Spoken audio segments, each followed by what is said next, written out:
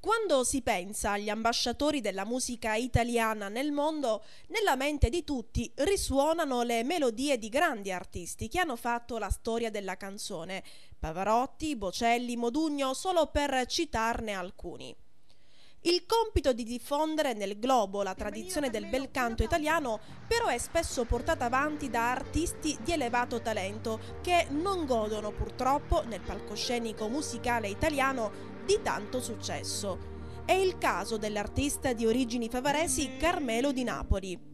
Quest'ultimo da molti anni risiede a Parigi dove, grazie alla sua forza di volontà e alla sua perseveranza, ha potuto sviluppare il suo talento. L'autore, compositore ed interprete del romanticismo italiano ha al suo attivo la realizzazione di ben 16 album ed ha calcato i palcoscenici dei maggiori teatri del mondo, da quello nazionale Garcia Lorca della a Cuba al teatro municipale Trinon di Rio de Janeiro. Dei successi musicali di Carmelo di Napoli in Francia hanno scritto anche le più importanti testate giornalistiche, quali Le Figaro e Le François. Tra i brani di maggiore successo del cantautore favarese ricordiamo Dimmi, che tra l'altro dà il nome al suo ultimo album che raccoglie i maggiori successi e Letizia, anche questa presente nelle tracce musicali del CD che il cantautore favarese ha dedicato alla propria mamma. La sua voce calda e le sue canzoni romantiche sanno dire ti amo a tutti gli innamorati del mondo.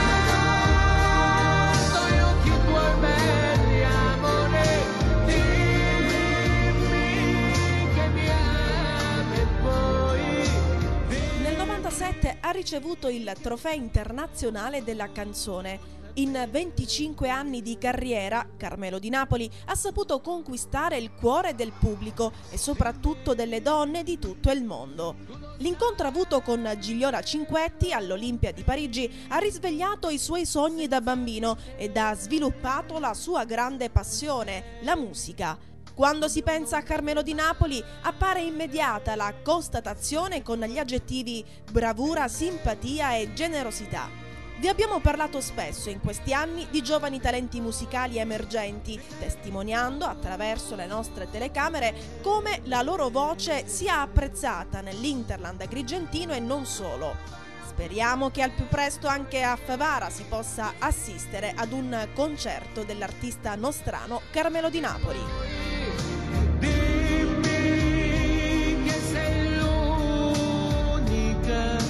hit me.